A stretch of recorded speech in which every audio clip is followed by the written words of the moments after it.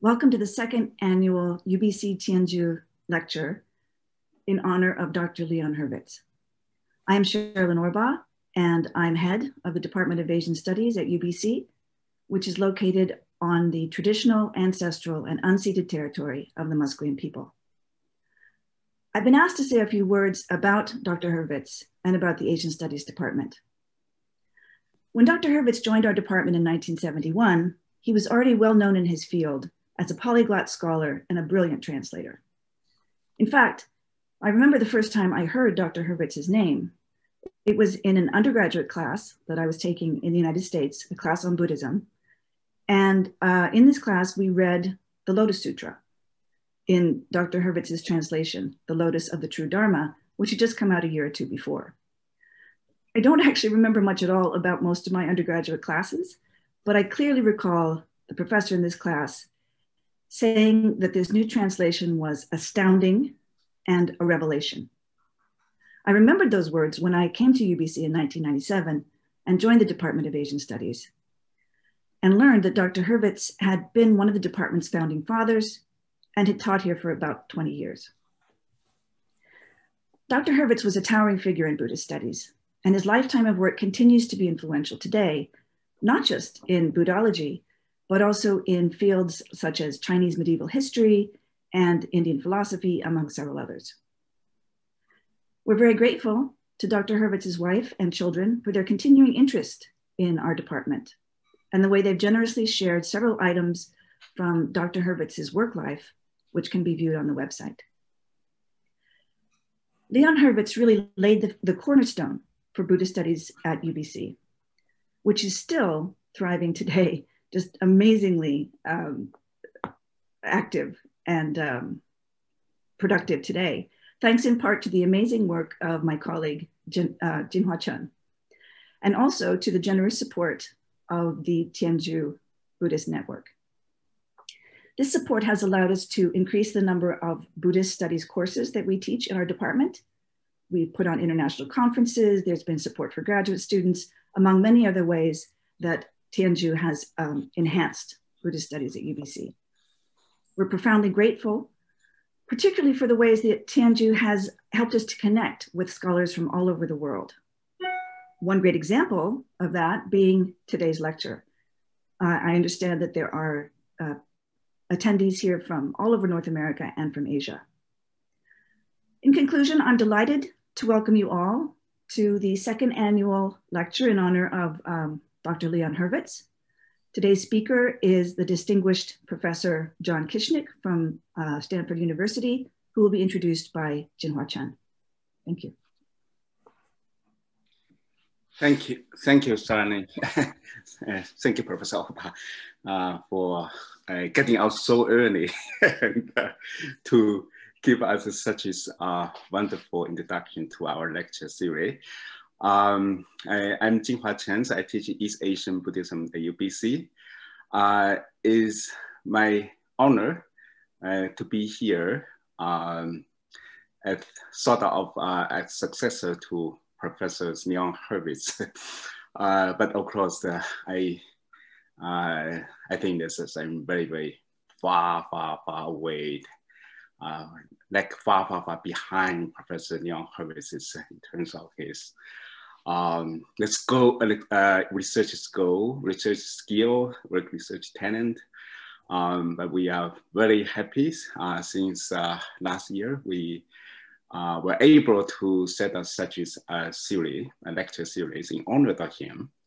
And uh, we are also very uh, happy to see quite a lot of scholars are willing to, to join us in paying homage to this unusual uh, scholar. I, the first speakers for uh, these lectures is uh, uh, Professor Buswell uh, from UCLA. And uh, today's, uh, it gives me great pleasure to have my esteemed colleague, also a very good friend, Professor John Kieschnick, to give another momentum to these lectures. Uh, Professor John Kieschnick uh, I believe that uh, all of you are very familiar uh, with him. If not uh, in person, you definitely know very well about his research. Um, Professor John Kieschnick uh, mainly work on Buddhist biography, Buddhism's influence on material cultures, um, and as represented by uh, two of his uh, extremely important and also well, very well read books. And first book is actually I myself have been uh, following his book, and he has been teaching me so much on um, monastic biography. Uh, this is of eminent monks. And this is actually uh, derived from his uh, Stanford uh, PhD dis uh, dissertation. Um, but his second book is about um, Buddhism's um, uh, impact on uh, material cultures in China. And this one is also very, very important. actually, the, this is has been kind of textbook for uh, not only for graduate student, undergraduate, graduate, but also uh, for uh, any scholars working on uh, on this area. And I'm very happy to learn that John is now turning his attention to uh, Buddhist uh, historiography, because this is also something that I'm very, very interested in. And I believe that today's talk probably has, probably is a part of his ongoing research. I look forward to uh, learning more from, uh, from his lectures. Uh, uh so uh, now I would like to join the, uh, to invite all of you to join me to welcome the, Professor John Kieschnick, uh, Robert, Hall, Robert Hall family chair positions at Stanford. So, Professor Kieschnick, please. Thanks, Jinhua, for the introduction, and thanks for the invitation. Um, of course, Professor Hurvitz was a giant in the field, so it's a real honor to be invited to speak in this series. And finally, thank you to all of you for tuning in. Um, today, I want to discuss two very familiar topics for scholars of Buddhism, the foundational doctrine of karma, and for scholars of China, the strong Chinese historiographical tradition, and see what happens when we bring these two topics together. Uh, let's start with karma. If I had to pick one Buddhist doctrine or belief um, to illustrate the importance of Buddhism to Chinese civilization, I would pick karma, the belief that there is an invisible moral order governing the universe and that the morality of our actions shapes our circumstances, both in this life and in future lives. Nothing quite like this existed before the entrance of Buddhism to China, but it's an idea that clearly took hold in China early on in the history of Chinese Buddhism and continues to be a foundational concept in understanding what, for most Buddhists, it means to be a Buddhist. Uh, where do we find karma in Chinese Buddhism? Uh, karma, is, of course, is often discussed in Buddhist doctrinal works composed in China, maybe most famously in uh, Huiyuan's essay on the three forms of retribution, his Sanbao Lun, but also in any number of influential texts by prominent Buddhist thinkers from uh, the early years of Chinese Buddhism right up to the present day. Uh, in addition to these, to seeing karma in doctrinal works, we also occasionally can see illustrations of karma in Buddhist art. And I think it's, it's maybe best illustrated by one uh, motif in these images of the underworld. This is an example here. And that motif is my favorite piece of furniture in the netherworld, which is the karmic mirror. So the idea is that after you die, you're taken to the court of the 10 kings. And before judgment is passed, you're led to a mirror. And when you look in that mirror, you see the significant events of your life and you're forced to confront your past I don't know if you can see this. I have a close up here where you can see better. So this poor man um, looks into uh, the mirror and sees that when he was alive and still fully clothed before he was stripped and bound, when he was still alive, he um, slaughtered an ox. So I'll give you one more example. This is another example, not from a, a painting on silk, but from a, an illustrated manuscript. And again, here we see uh, this poor man who has been, again, stripped of his clothes and, and bound, and he looks into his past in the mirror, and you see an image of him raising his fist to a monk, apparently about to strike the monk. So for the figures in these two paintings, um, the future does not look bright. But aside from representation in painting or illustrated manuscripts, karma is especially pervasive as a major motivation for any devotee to donate money for the creation of a whole array of Buddhist objects. When a patron supports the copying of a scripture or cutting of woodblock prints for printing a scripture or uh, uh, printing a whole set of scriptures, they usually have done so and continue to do so, at least in part, in the belief that they or their loved ones will be rewarded for the act through the mechanism of karma. Inscriptions tell us that the same is true for making icons, stupas, uh, monasteries, and even bridges. I was surprised some years ago uh, when I, I um, realized that karma played a key role in the history of the Chinese bridge. That is, that often bridges were made uh, in part out of the belief that you could gain merit from constructing them. So this is a sixth century rubbing of a stele, part of a sixth century rubbing of a stele. And as you can see at the top of the stele, there are Buddhist images.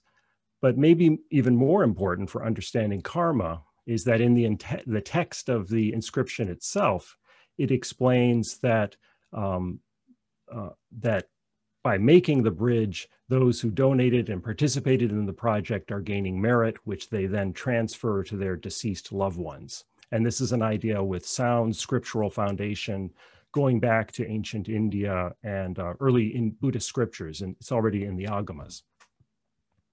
There's so much material of this sort that it would be easy to give a talk or even a series of talks just on the topic of karma in Chinese Buddhist material culture. Now, aside from scholastic works and material culture, karma is also the foundation of most Buddhist ritual in China, from small private funerals to large scale public rituals like the Shui Lu Fa Hui, the, the ritual for um, all of the deceased, for the souls of all creatures. In these sorts of rituals, the main role of monastics is to create merit by chanting scripture. And this merit is eventually then transferred to the deceased. So this is a, a, fairly typical example of these little strips of paper that are hung on the side of the hall during the uh, Shui Lu Fa Hui ritual. And each one of these strips represents the wishes of a donor. So the donor uh, pays to have a, a strip filled out that has the name of the person they want to receive the merit of the ritual to go to. It's usually uh, deceased ancestors, usually deceased parents. Now, all of this is probably familiar to most of you. Uh, this morning, I want to focus on what I think might be a less obvious topic, karma in historiography. It's not surprising, really, that we find karma in historiography, since, as I just said, we find it pretty much everywhere else in Chinese Buddhism. But I think it's worth reflecting on just what belief in karma brings to the historiographical project. Specifically, I want to focus on these four areas. The first is history without karma. That is, I think we can best understand karma if we consider types of Chinese historical writings that don't draw on karma. And if we look briefly at some of the possible alternatives to karma for explaining causation and morality in history. Second, I want to look at proving karma through history. So doctrinal texts tend to assert the existence of a karmic system and to describe how it works. But Buddhist historians thought that they could prove it by looking for traces of karma in the historical record. So this is an example of what history, unlike some other um, genres of writing, brings to the doctrine of karma. Just as interesting, I think, though, is the opposite, is karma as a tool for explaining history. That is, how, according to Buddhist historians, did karma help to explain why historical events played out the way they did? And finally, in the last section, I want to talk about thinking about karma with history. And here I want to show that historical works don't just illustrate the belief in karma, they were and are a way for Buddhists to think through some of the knotty issues a belief in karma raises. So that is, I, I, I want to make the argument that we can think of history as a doctrinal genre. So I'll start with history without karma. And by this, I'm referring to non-Buddhist historiography in China. Specifically, how do other forms of history deal with the consequences of moral and immoral actions. Uh, let me start with an example. In one of the most celebrated passages of the first century BC classic, The Records of the Historian, the Shiji, Sima Qian, the, the father of Chinese history, tells the story of two men, Shu Qi and Bo Yi, who because of their loyalty to a fallen state are driven into exile where eventually they die alone of starvation. Now, this creates a problem for the historian because for Sima Qian, a key function of writing history was to provide moral lessons. But what sort of moral lesson are we supposed to learn about two virtuous men who, because of their virtue, died miserable deaths? After telling the story, Sima Qian comments at the end by saying, Heaven is impartial. It is forever on the side of whoever is in the right. Yet though Shu Qianbo accumulated such virtue, in conduct were so pure, still they died of starvation. And he goes on to say these are not the only stories of good men suffering bitter injustice. So prominent examples include Yan Hui, Confucius's disciple, a virtuous man who throughout his life lived in abject poverty. Uh, we could think of Wu Zixu, a brave general who was forced to commit suicide because he offered honest advice. Uh, Confucius himself, who, who never really got the respect he deserved. And even though, though Sima doesn't mention it in this passage, probably the most striking example of all is Sima himself, who endured the humiliation and physical pain of castration for displeasing a fickle emperor when he acted in good conscience bravely defending an innocent man. Uh, Sima lists opposite examples as well. So he mentions, for instance, the bandit Zhi, Dao Zhi, who was a, a violent, cruel, selfish man, but who seems to have lived a long and happy life. Faced with the immense body of biographical evidence that he had mastered to compile his great work, showing how sometimes the good suffer miserable ends and the wicked so often prosper. Sima Qian in the end could only throw up his hands and lament the caprices of fate, the inscrutable workings of destiny. Sima Qian seems to say that if we read the historical record carefully, we see that yes, heaven is governing the universe and is on some level moral. But when we look more closely and examine specific historical cases, we soon discover that the world sometimes is just not fair. And it's Sima frustration and melancholy that makes the passage so moving and so relatable. But if we move ahead some eight centuries later to the seventh century, Dao Xuan, one of the most prolific Buddhist writers of his era and author of a number of historical works, returned to Sima Qian's problem, mentioning Sima Qian specifically, but Dao Xuan returns with a fresh perspective. Dao Xuan writes that when previous historians like Sima Qian or his successor Ban Biao attempted to understand what they termed destiny, he says they're like someone who sees a piece of woven silk fabric without knowing how it was made on a loom. Or he has another example I like, which he says it's like someone who sees grain in a storehouse without knowing that it was originally harvested from a field. That is, non Buddhist historians, for all of their erudition, see the events of history race by, but don't understand the rational mechanism driving these events. Writing in a time before the introduction to China of Buddhism, early historians, Dao Xuan tells us, were blind to a basic historical principle, karma, that explains everything. He tells us that what the Confucians term destiny, we Buddhists call karma. And karma is tied, destiny is tied to karma, and karma is tied to the mind. As the products of the mind are uneven, the results of karma vary. In other words, there is an intelligible moral order governing the course of history, but it's more complex than men like Sima Qian, ignorant of Buddhism, understood. Since reward and punishment are distributed in different degrees, depending in part on the intentions of the individuals involved. Moreover, he goes on to say, reward and punishment are spread out over many lives, and this point is key. Dao Xuan emphasizes the complexities of how karma is played out in a lengthy essay that I won't quote for you here, but his main point is that a bad man, like Bandit Zhi, like Dao Zhi, may prosper in his own lifetime for good karma he has accumulated in past lives, but he will suffer for his bad actions in a future life. And conversely, virtuous men like Shu Qi and Bo Yi, though they may suffer in their lives for karma they accumulated in past lives, in the future will certainly be rewarded for their virtue. What all of this tells us is that the price of moral deviance and the reward for virtue can only be understood when the ebb and flow of karmic retribution spanning many lives is understood. I'll talk about um, how Buddhist historians used karma in a moment, but if you take nothing else away from this talk, I hope this example illustrates the power of karma as a way of thinking about history.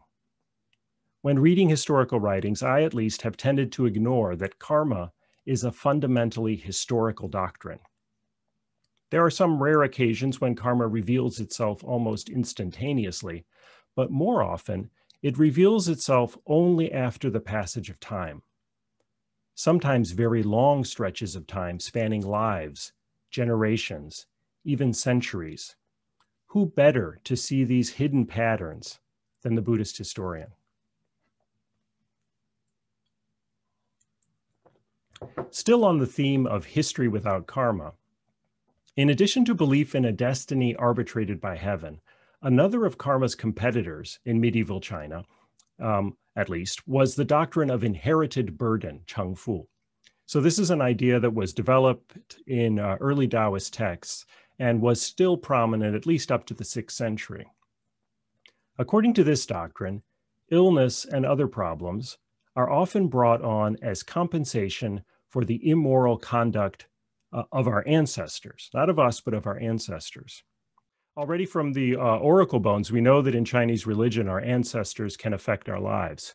There's a famous example of an oracle bone inscription describing a Shang king asking if one of his ancestors was responsible for the king's toothache.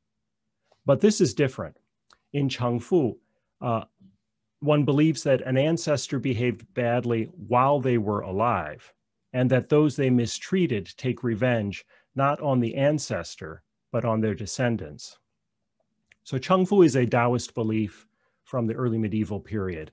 It was not, as far as I can tell, all that pervasive or all that long lasting. But we can see something kind of similar if we go back to those vows uh, from contemporary Buddhist ritual.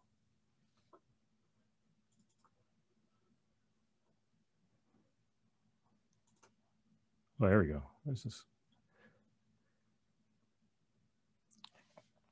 So these are, this is from the Shui Lu Fa Hui, and I wanted to look particularly at this um, strip, which mentions that the merit for this act should go to appease uh, disgruntled relatives and creditors.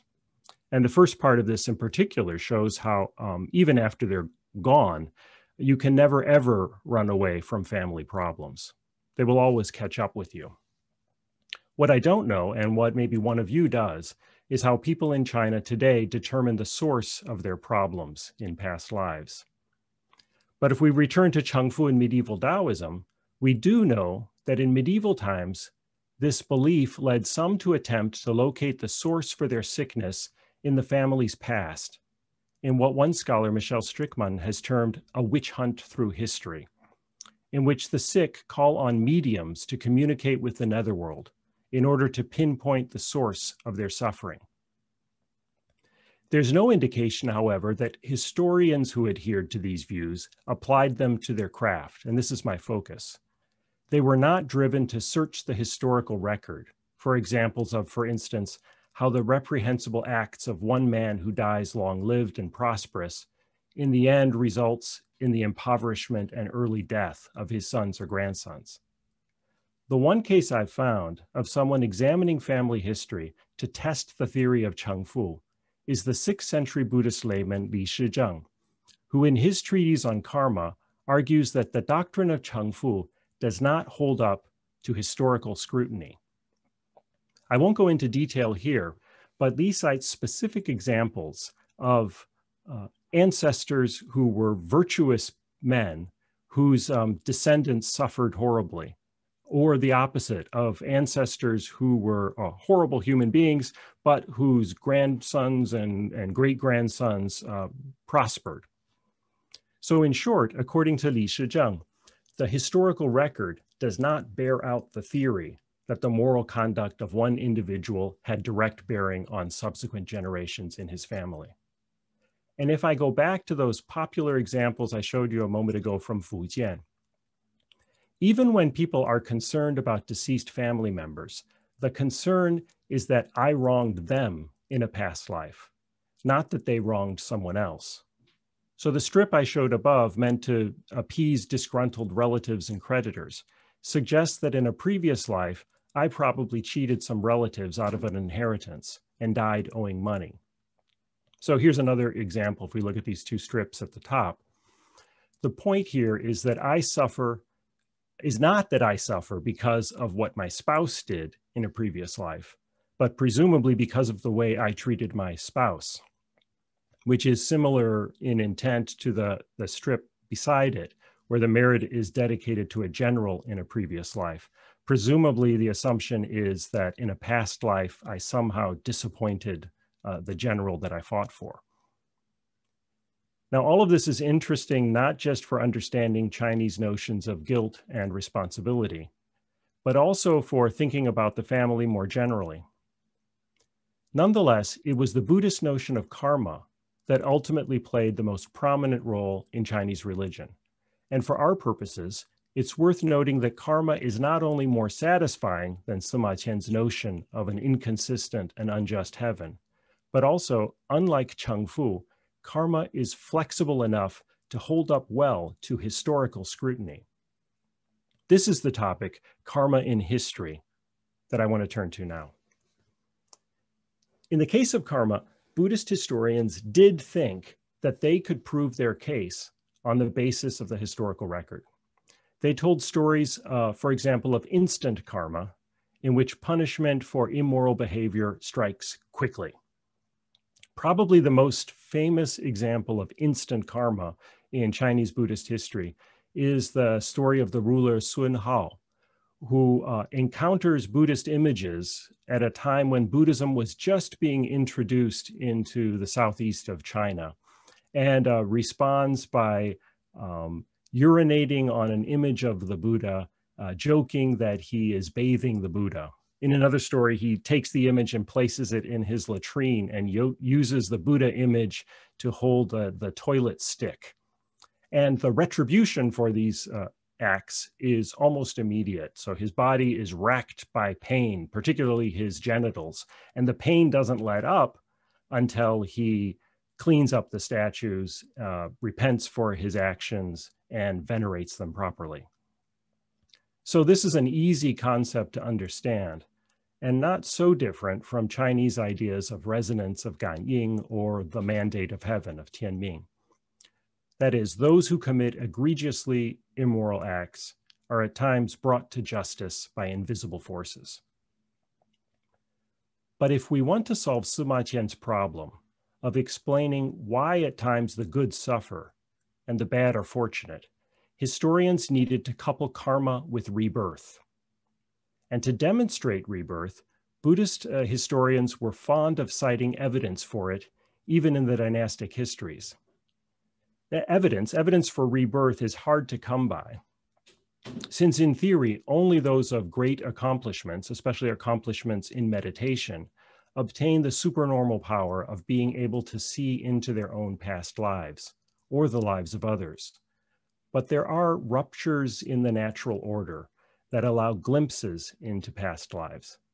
For example, uh, the biography of Yang Hu or the story of Bao Jing in the Jin Shu, the, the history of the Jin. So the Jin Shu tells a story that's often cited in Buddhist historical works of Yang Hu. And it's said that he goes on to become a, a prominent official.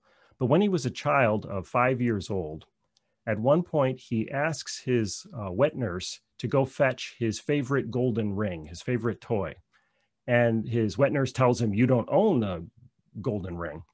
But Yang Hu then says, Of course I do. And he tells her it's buried next to such and such a tree in the home of such and such a person um, on the other side of town. They go there and they dig up next to the tree and they find that in fact there is a golden ring there. At which point uh, the, the family that lives there is astonished because just five years previous, their son, who owned a golden ring, died. The story of Bao Jing is similar. Uh, for Bao Jing, it says that when he was five years old, he tells his parents that in a previous life he had different parents uh, who lived in a, a, different village, and they go to this other and and that he died when he um, tripped and fell down a well. They then go out and they find this family in the other village and they verify his story that they had lost a child who was nine years old when he fell down a well in both cases, the suggestion, even though it's never explicitly stated, is that children are close enough to their previous existence that they can still at times remember their past life. There are many claims for rebirth in Buddhist historiography, and not all of them involve children. Um, one of my favorites is uh, Dao Xuan himself, who I already mentioned. He claimed that he was the reincarnation of the equally famous monk Sengyou, and this was revealed to Dao Xuan in a vision. And Sengyou, uh, historians tell us, was in turn said to be the reincarnation of another monk named Sung Hu. In this case, uh, Dao Xuan didn't realize his previous existence as a child, nor did he claim any special powers. Instead, he was visited by a very old god, a very old deva, who told him who he had been in a previous life.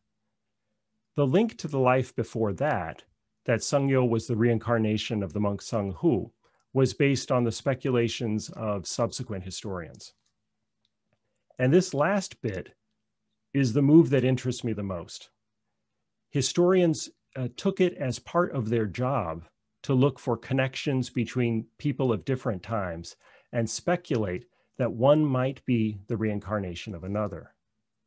Uh, one historian argued that the evidence suggested that the 10th century monk uh, uh, De Shao was the reincarnation of Zhi and Tiantai sources insisted that Zhi was the reincarnation of an Indian who had been present at one of the Buddha's sermons. The monk uh, Wei was in a previous life the official Xu Ling. Uh, the Tang official Fang Guan was a monk in a former life, as was Emperor Wen of the Sui, Sui Wendi, and later, the great poet Su Shi was also said to have been a monk in a former life. Sometimes Buddhist historians speculate on the rebirths of figures who aren't even important for Chinese Buddhist history. Uh, Zanning, for example, claimed that uh, Cai Yong was the reincarnation of the scholar Zhang Heng, and the Tang general Wei Gao was the reincarnation of uh, no less than Zhuge Liang.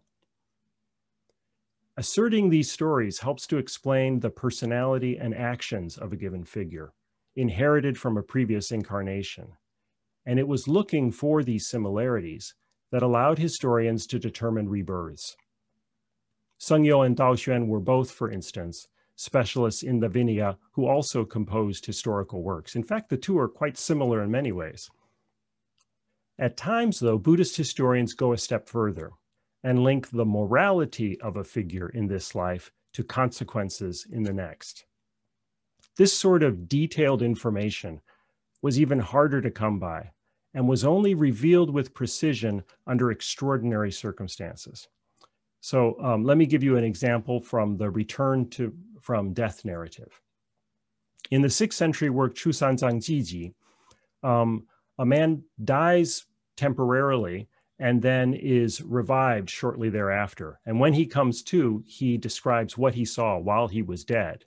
And what he describes is that he descended to the courts of the underworld, much like the scene that we looked at previously with the karma mirror. And in the underworld, he sees the famous virtuous monk Fazu and sees that this monk Fazu is greeted warmly by the officials of the underworld and is escorted off to a paradise but he also sees uh, the, the, great Taoist enemy of Buddhism, Wang Fu, who is greeted with great uh, anger and hostility by the kings of the other world and is sent off to be punished in hell. Biographies of eminent monks record a number of these return from death stories, full of precise dates and historical details that describe the temporarily dead who see punishments meted out for those who behaved badly in life. For instance, there are examples of uh, hunters who go to the other world and are punished for it, or of those who stole monastic property who are punished in hell. Our temporarily dead witnesses assure us that the bad, even if they prosper in life, are indeed punished for their acts, and that those who lived virtuous lives, whatever their fate in the world of the living, are compensated in their next lives that's one type of narrative that gets around the problem of um, finding evidence for uh, karmic compensation. Another type of story that illustrates karma in Buddhist historiography is the account that includes the pronouncements of holy men, what I call here the holy man uh, narrative.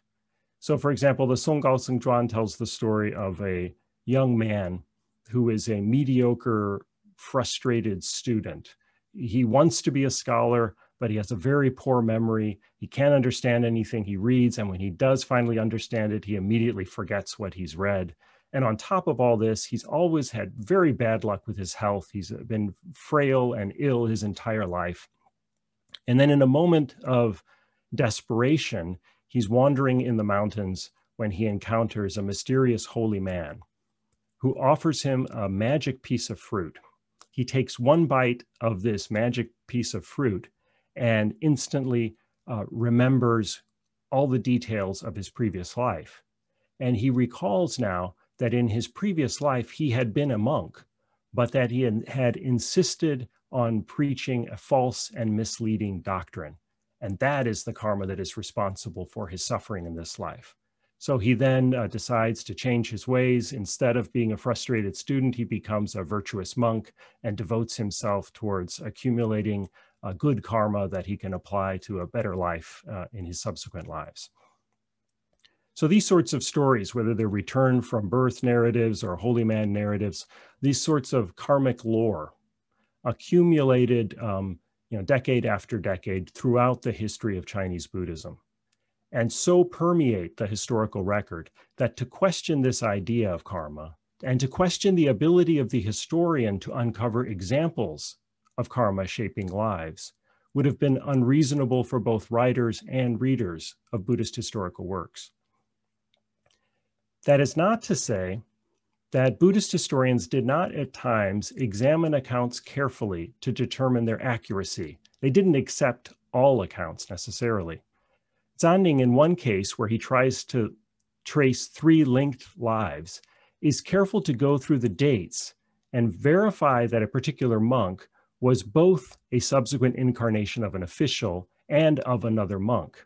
So he goes through and says that there's no overlapping of dates. So it's very possible that this figure was first a monk, then an official, and then a monk. In this case, he was careful to reassure his readers that the dates do not overlap. But in another case, uh, Zanning slipped up and a later historian called him out for it. So Zu Xiu, in his uh, um, Longxing Bianian Tong Lun, one of my favorite uh, Buddhist historical works, criticizes Zanning, his fellow Buddhist historian, for repeating a story about the previous birth of the famous rebel An Lushan. So the supposedly previous incarnation, Zu Xiu points out, was seen in a year when An Lushan had already been born. So after refuting the story, Xiu announces that he reluctantly is going to have to leave this story out of his own history because it do doesn't hold up to scrutiny. I just love these instances of Buddhist historians showing their work. That is, Xiu spills a lot of ink demonstrating how a sloppy previous historian transmitted a story that simply can't be true, and then ostentatiously says that he can't include the story in his own work since it isn't up to his own standards. We can see in accounts like these that Buddhist historians approached karma with their own set of criteria they did not see these stories as a way of propagating Buddhist doctrines irrespective of their historicity. Instead, they approached such stories with the pride of well trained historians sensitive to historical context and dates. The stories mattered because they could be demonstrated to meet historiographical standards of source criticism and chronology. They weren't just miracle stories, they were accounts that had been vetted by professionals.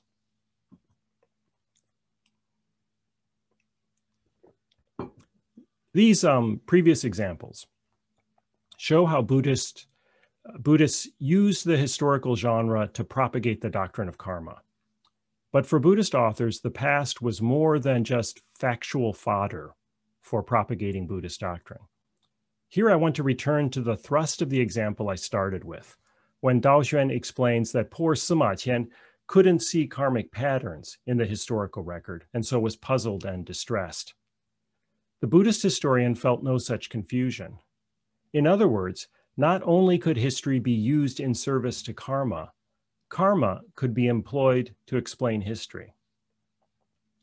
Every biography is in some sense a puzzle in which the author and reader alike scrutinize the family background, the birth and early child childhood of the subject in search of clues that will explain why she or he became the man or woman that would one day make them worthy of a biography. This mystery at the heart of every life story accounts in large measure for the continued success of biography as a genre. In the case of monks, family background is not as useful as it is for other types of figures, since assuming early vows of celibacy strictly maintained, one cannot come from a long line of Buddhist monks. And even when, for instance, a great exegetical monk can be shown to come from a family famous for producing scholars, this still begs the question that shapes the opening of every monastic biography. Why did the boy become a monk in the first place? To answer this question, Buddhist historians could look for clues, suggesting the role of karma from past lives. It's common, for instance, in the first few lines of a biography of a monk to say that his mother, when pregnant with the child, suddenly had no taste for meat. The suggestion is that the boy was born to become a monk because of actions in his past lives. And biographers of eminent monks often stop to explain explicitly that the reason such and such a monk early on demonstrated prodigious talent, talent for scholarship, talent for preaching, talent for learning foreign languages, was because of karma accumulated in a previous life. While hagiographical motifs may have been inspired by more general notions of divinity, historians interpreted them through a karmic lens. So if Christians saw in the early life of Jesus signs of his divinity, in particular his ability to debate with learned men already as a child, Buddhist historians would have seen evidence of qualities carried over from a previous life. Seen through this lens of karma, new aspects of the past came into focus with unprecedented clarity. A natural affinity for doctrine or devotion at an early age signaled not only that a boy would become a monk, but that he had been a monk in a previous life. Unlike other types of historians, Buddhist historians were especially attuned to look for these karmic clues. In addition to detecting the karmic conditions that led boys to the monastic vocation, they could decipher other puzzles in the historical record on the basis of karma as well.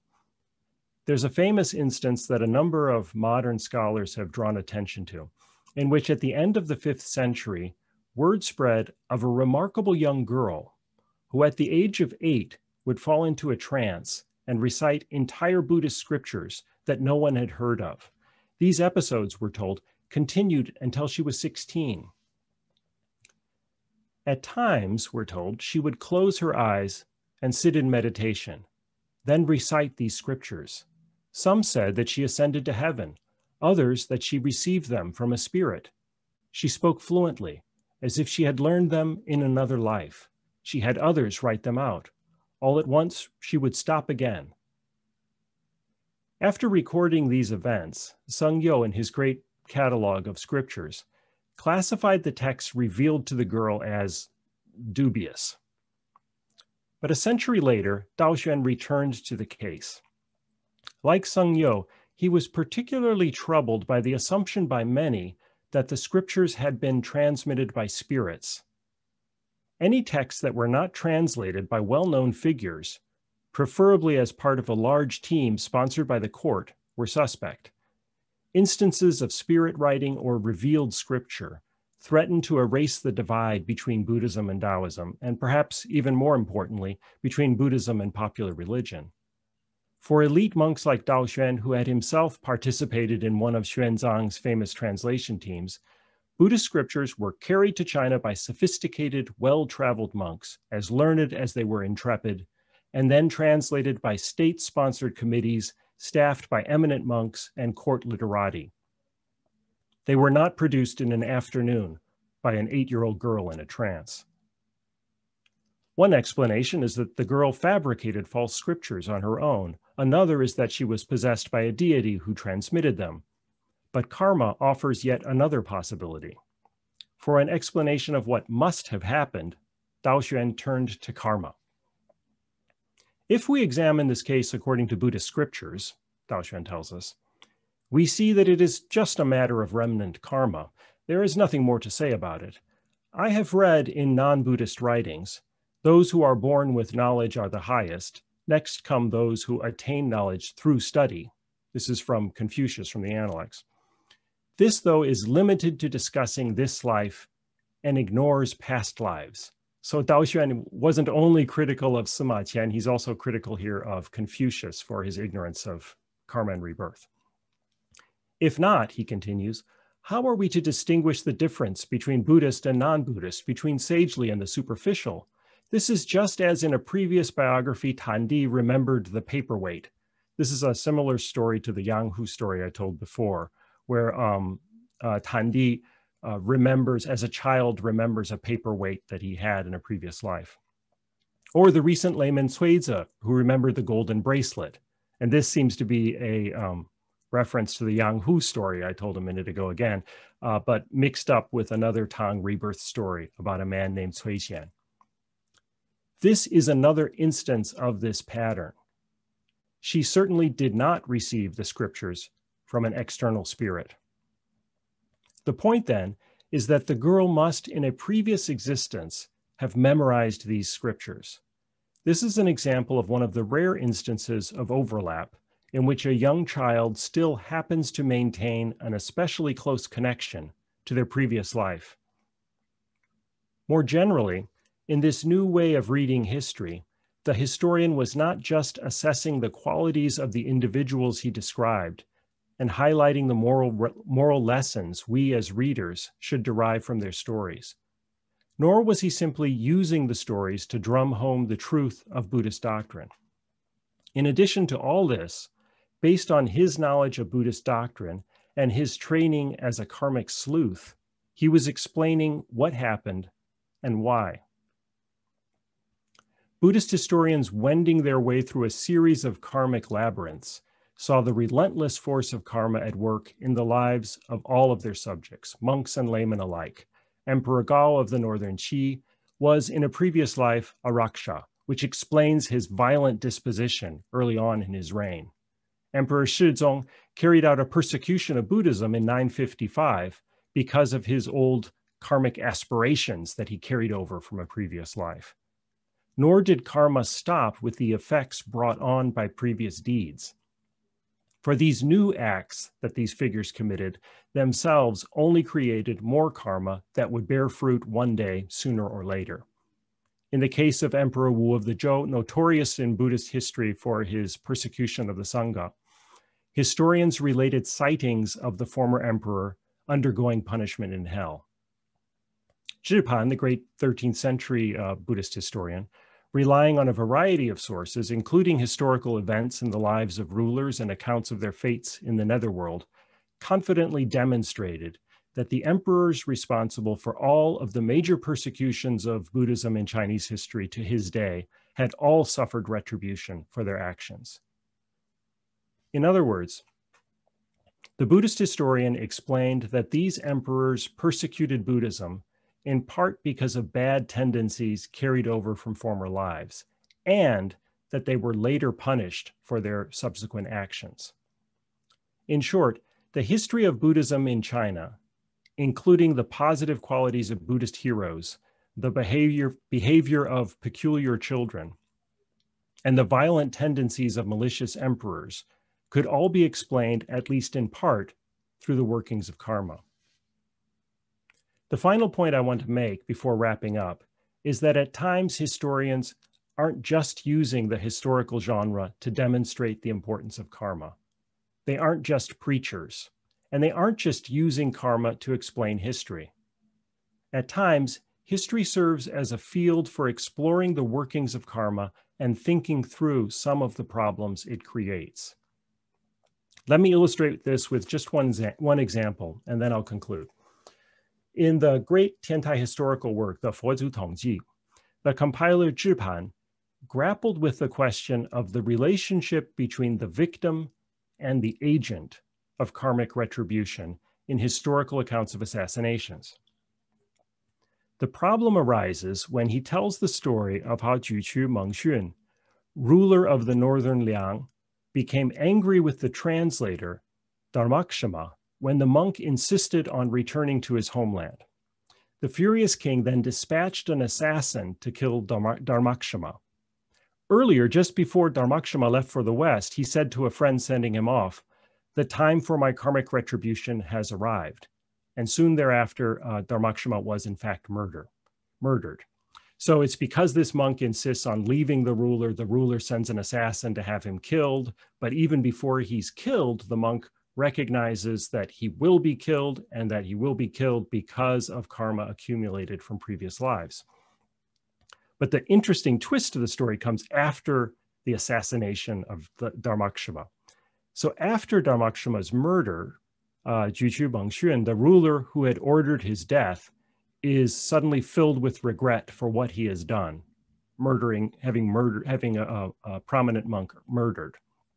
And in the middle of the night, the ruler has a vision of a divine being wielding a sword. And as soon as he sees this monk, this ferocious uh, being with a sword, uh, the ruler promptly falls dead. Now, this raises a question for Zhi Pan.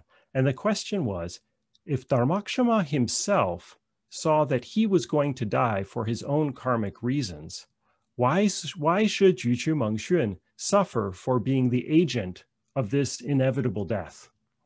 Zhi Pan writes, when Juqu Mengxun dispatched an assassin to kill Dharmakshama, a divine being felled the king with a sword. Some say that since these holy masters fully understood their karma and so allowed their own karmic debt to come to completion, why should their killers receive retribution in this way? So there's similar discussion in Abhidharmic texts of the monsters who punish sinners in hell. And the question is, those monsters in hell who are poking us with their tridents, um, are they accumulating bad karma? But aren't they fulfilling a role by by balancing out the the karmic karmic distribution? So why should they suffer for doing something that is a necessary job for the system to work? And this is a Zhi Pan's uh, response. It must be that deities who protect the Dharma were angered over these assaults on the worthy. Moreover, and here's the key point, the malevolent minds of the assassins were sufficient in themselves to bring their fate upon them. This cannot be compared to the exchange of blame and retribution between ordinary people. In other words, the agent of Dharmakshama's murder, whether it be the king or a spirit, was responsible for their own actions, regardless of the state of Dharmakshama's karma, and so would in turn carry the burden of the karmic consequences of their act. None of us, he seems to be saying, are automatons. The king, even if his, if his actions played a role in balancing out the karmic debt of the monk he has murdered, was still responsible for what he did.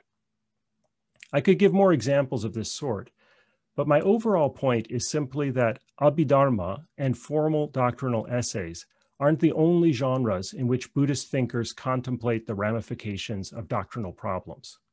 History too provoked this kind of speculation and debate, often by authors steeped in Buddhist doctrine and often at a sophisticated level. I don't want to leave you with the impression that karma was the only model of causation that Buddhist historians drew on.